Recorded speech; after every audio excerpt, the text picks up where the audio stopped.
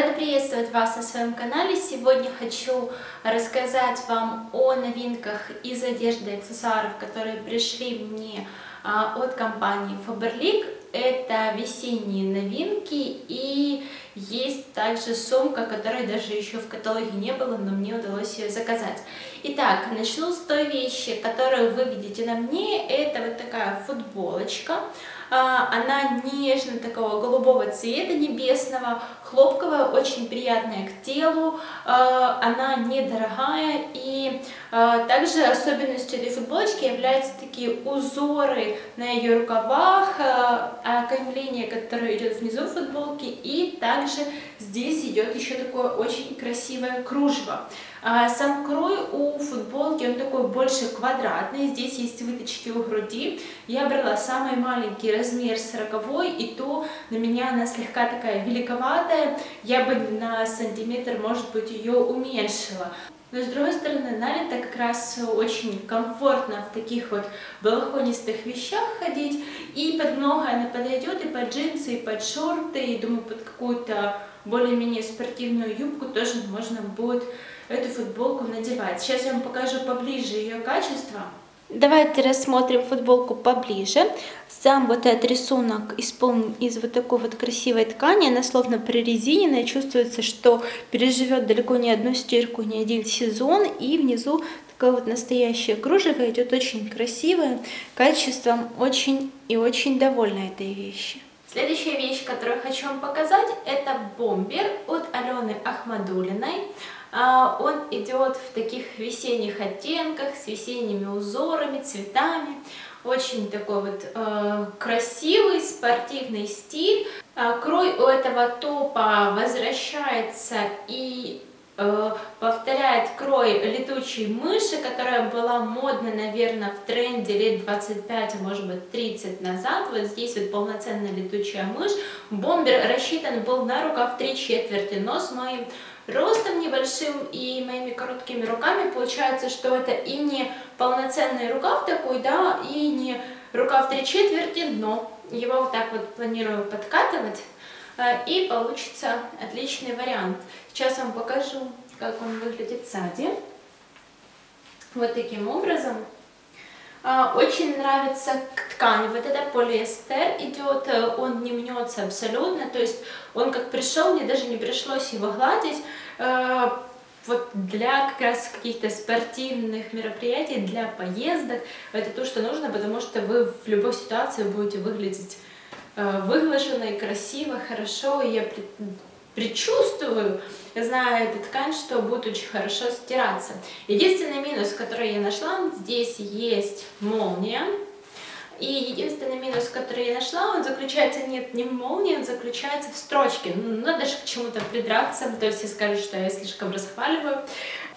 Здесь идет такая розовая строчка, и дальше идет вот эта резинка черная. И розовая строчка, она идет по черной резинке, то есть она выделяется. Не могу сказать, что это критично, но я бы сделала здесь бы черную строчку, незаметную. Вот сейчас вам покажу его чуть поближе. Он смотрится вблизи, молния отлично работает. Здесь вот такая розовая подкладка, и дальше внутри он вот такой вот белый. Как вы видите, качество строчек все очень и очень на достойном и высоком уровне. И последний герой сегодняшнего видео это вот такая сумка, которая пришла ко мне в чехле, классическом чехле для сумок. Это серия Florange идет и э, сама сумка выполнена из эко-кожи. А, сейчас я вам покажу, как она будет смотреться на мне. Несмотря на такие мои небольшие габариты, размеры, она смотрится даже на хрупкой девушке вполне уместно. То есть такой оптимальный размер. Вот так вот. А, и сейчас вам покажу поближе эту красотку. Итак, Предлагаю начать с деталей. Видите, сама кожа такая фактурная идет. Здесь ручки. Одна ручка вот обычная такая классическая ровная, вторая она идет раздвоенная. И э, под ручками, да, красный оттенок. Здесь идет вот такие две кисти. Э, и такие вот не, наконечники в качестве украшения. Вот линейка Флоранж. И что же внутри этой сумки. Внутри у нас красный цвет. Вы можете наблюдать. Вот так будет смотреться сумка в застегнутом виде. Здесь такая золотая идет молния. И что нас ждет с вами внутри? Внутри красная также кожа, здесь нет тканевой подклады, и здесь идет такая сумка-косметичка. То есть эту сумку можно вытащить. И у вас получится тогда э, сумка без единого отделения, без единого внутреннего карманчика, которая просто будет закрываться на молнию. Касаемо косметички, вот таких она размеров, да, если сравнивать с самой сумкой, вот, ну, практически по размерам сумки. Она также идет на молнии. А, и а, к этой косметичке также прилагается ручка, то есть можно сказать, что вы покупаете сразу две сумки, что очень даже радует.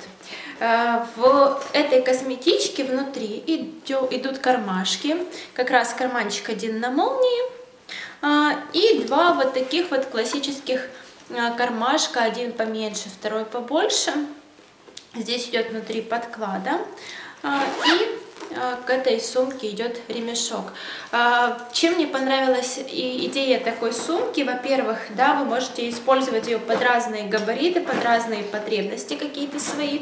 И классно, если вам нужно куда-то в поездку ехать с такой сумкой, вы берете для себя сразу и большую сумку, и маленькую. По необходимости, если вам не нужно с собой брать много вещей, вы вытащили вот эту красную сумку-косметичку, у которой есть свой индивидуальный ремешок, и пошли с ней гулять по городу.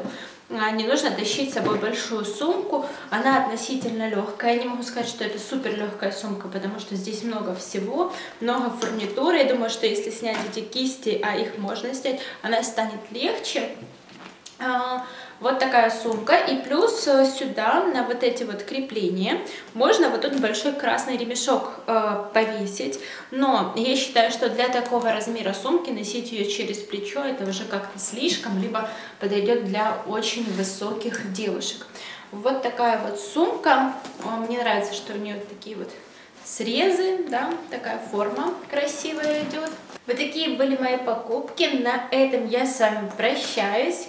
Скоро увидимся в новых видео. Всем пока!